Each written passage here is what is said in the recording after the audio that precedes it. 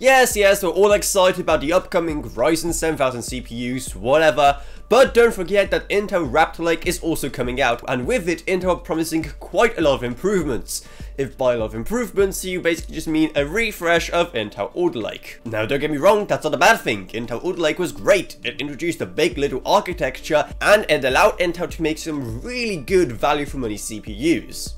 But compared to all of that, Intel Raptor Lake is a modest improvement, but a improvement nonetheless. Looking at the specs, we can see quite a few changes, seeing how both the 13600 and the 13700 both now have 4 more efficiency cores, while the 13900 now has 8 more. But do keep in mind we're only getting more efficiency cores and not performance cores. So did Intel figure it out? Is 8 the magical number for the total amount of normal cores people actually care about? Seeing how we've been stuck on 8 cores on the Core i9s for quite a while now, it looks like this is the perfect formula for Intel they are not moving from anytime soon. Apart from that, we also get a few other small changes, including an additional small sprinkling of cache, and an increase in the maximum supported memory speed. And as of course without mentioning the fact that the clock speeds have of course received a major bump.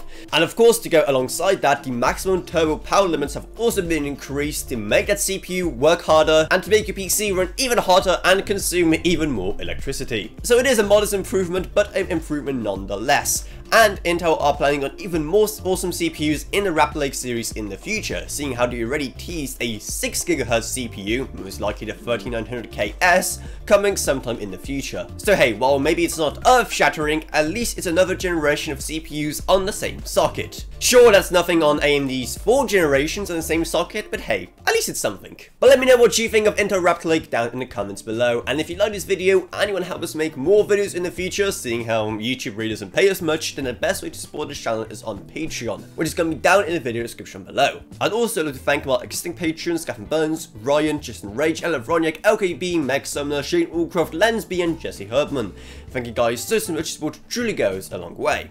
Down you're going to find our merch store, our Amazon links, our Discord server, and our social media links as well. But anyway, that's all it's. I hope you enjoyed this video. If you did, then remember, subscribe, like, whatever, and I'll see you all in whatever I make next. Goodbye, everyone. Good. Bye.